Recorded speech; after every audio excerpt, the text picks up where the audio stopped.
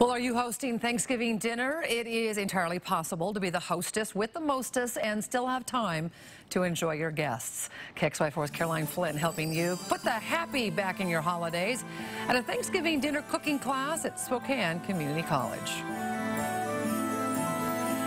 One of the things Chef Charlie does at the perfect Thanksgiving dinner class at Spokane Community College is literally give you an hour by hour schedule of how to cook your Thanksgiving dinner on Thanksgiving Day and uh, enjoy your guests. Right.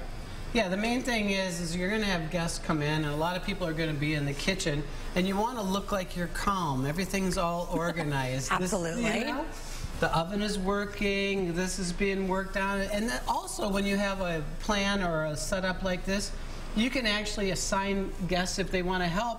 Oh, would you like to help? I'm working on this right now. And the recipes that we're working on for the class on Thursday, as well as for Thanksgiving, are easy recipes that anyone can follow.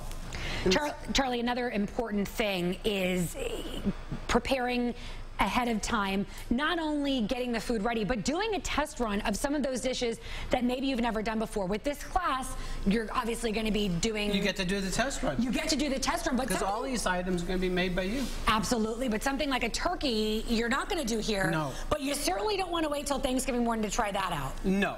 But on, at the class on Thursday, I will be talking about how long you cook a turkey, how to brine a turkey, you know, exactly the step-by-step -step process of roasting it and having enough time in the oven.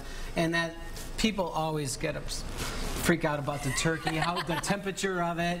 But no, this will break it down to easy layman's terms of how to handle the turkey. Another big tip for Thanksgiving is not to be too ambitious. People, I think, right. bite off way more than they can chew, both on Thanksgiving Day and just in general. I think so. And I think sometimes, you know, um, you have to figure out what is important to you that is homemade and maybe what can you buy store-bought.